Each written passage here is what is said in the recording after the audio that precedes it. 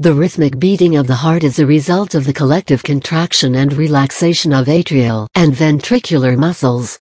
Buzzle describes the mechanism of cardiac muscle contraction including the phases of cardiac action potential, excitation contraction coupling, and the cross-bridge cycle. About one-third of the volume of a cardiac muscle cell is occupied by mitochondria, powerhouse of the cell.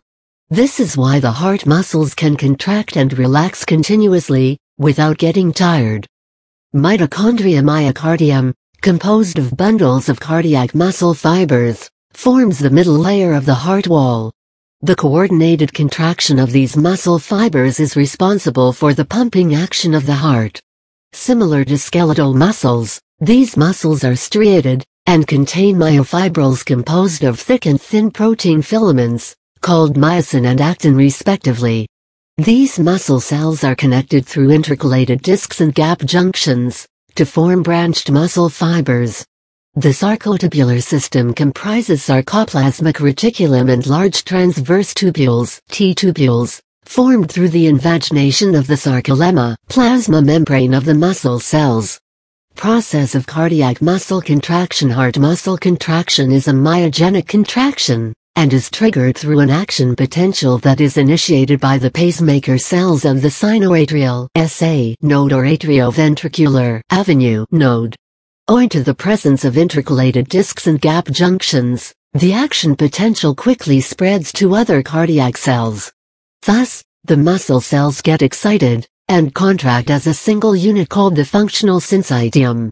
The heart muscles form two such syncytia, the atrial syncytium and the ventricular syncytium. Asystole is the period when the heart muscles contract, whereas diastole is the period when heart muscles relax. The perfectly regulated contraction of the atrial syncytia followed by the ventricular syncytia gives rise to the typical rhythmic beating of the heart. Action potential Action potential refers to the change in membrane potential that occurs due to the movement of sodium Na+, potassium, K+, and calcium, Ca2+, ions across the sarcolemma. The movement of these ions occurs through intermembrane pumps or channels, some of which open and close in a voltage-dependent manner. Typically, the resting membrane potential of a cardiac cell is minus 85 to minus 95 MV, and is maintained by the outward movement of K plus ions through specialized potassium channels called leak channels. The different phases of a typical action potential in a heart muscle cell have been illustrated and described below. Figure action potential for a ventricular myocyte heavy black heart phase 0, rapid depolarization for the action potential to develop, rapid depolarization loss of negative charge of the membrane is required. This occurs through the rapid influx of Na ions through the voltage-sensitive sodium channels. As a result of this, the membrane potential increases from minus 85 to 0 MV, and then overshoots to reach a value of plus 20 to plus 30 MV. Heavy black heart phase 1, partial repolarization the sodium channels close, and voltage-sensitive potassium channels open up, leading to an outward movement of K plus ions. This corrects the overshoot in membrane potential, and reduces the value to about plus 20 to minus 10 MV. Heavy black heart phase 2, plateau This long phase involves maintenance of membrane potential near plus 20 MV. It is characterized by a slow influx of Ca2 plus ions through voltage-dependent calcium channels called L-type calcium channels. This influx of Ca2 plus ions from the extracellular fluid is unique to cardiac muscle cells, and is not required for the contraction of skeletal muscles. The outward movement of positive ions is achieved by the closure of potassium channels. This prevents repolarization of the membrane, and maintains the plateau phase. It is during this phase that these muscles actively contract and the excitation-contraction coupling, and the cross-bridge cycle. Heavy black heart phase 3, repolarization During this phase the membrane is repolarized, and the membrane potential again comes down to the resting potential. It is achieved through the closure of the slow calcium channels, and opening of the voltage-dependent and calcium-dependent potassium channels, as well as through sodium-calcium exchangers. Heavy black heart phase 4, Resting potential Once the resting potential is attained, the voltage-gated potassium channels close, and the leak channels responsible for maintaining the resting potential open. This is the phase where the muscles are inactive. Refractory period The time interval between the stimulation of a muscle fiber and the subsequent contraction, within which the muscle fiber cannot be stimulated again, is termed refractory period. During this period, the muscle does not respond to the electrical stimuli. These muscles exhibit a long refractory period, as compared to skeletal muscles, which ensures that enough time is available for the filling and emptying of the chambers of the heart. In addition, they cannot be tetanized owing to the long refractory period. Excitation contraction coupling the sequence of events, which accompany the changes in electrical activity and calcium influx, for the activation of contractile machinery of the muscle cell is termed excitation-contraction coupling. These events occur during the plateau phase.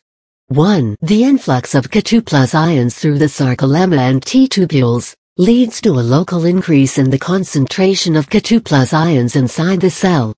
2. This stimulates the release of Ca2 plus ions from the sarcoplasmic reticulum, which brings about an overall increase in the intracellular calcium concentration. This is known as calcium-induced calcium release.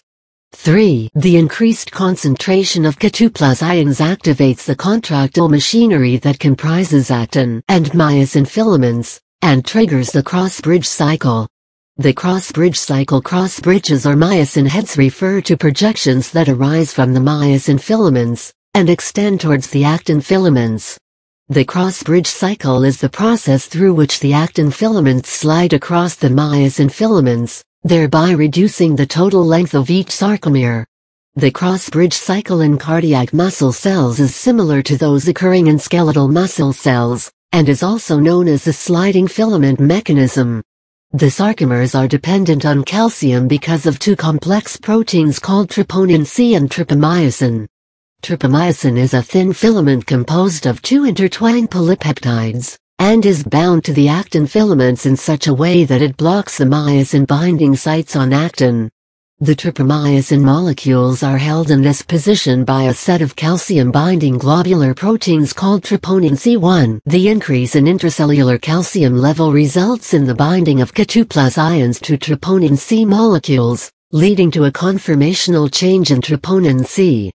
2. This causes the associated tropomyosin molecules to move, exposing the myosin binding sites on actin.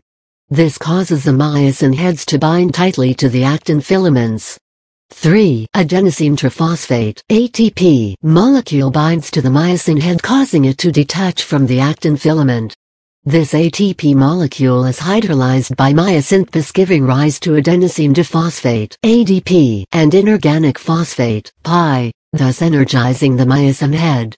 4. The energized myosin head binds to the actin filaments, which triggers a release of the hydrolysis products. The release of ADP and PI gives rise to a power stroke that causes the actin filament to slide. 5. Another ATP molecule now binds to the myosin head, initiating the cycle again. The collective action of several myosin heads brings about the contraction of the sarcomeres. at the end of the plateau phase, the cytoplasmic Ca2 plus ions are transported back into the sarcoplasmic reticulum, and are ejected out through the sodium-calcium exchangers. The reduction in cytoplasmic calcium concentration causes the dissociation of Ca2 plus ions from troponin C, thus causing relaxation of the sarcomeres. The atria and ventricles contract and relax alternately, owing to the incredible electrical conduction system of the heart. This ensures an efficient functioning of the cardiovascular system, as well as the timely transport of oxygen and nutrients required by every cell of the body.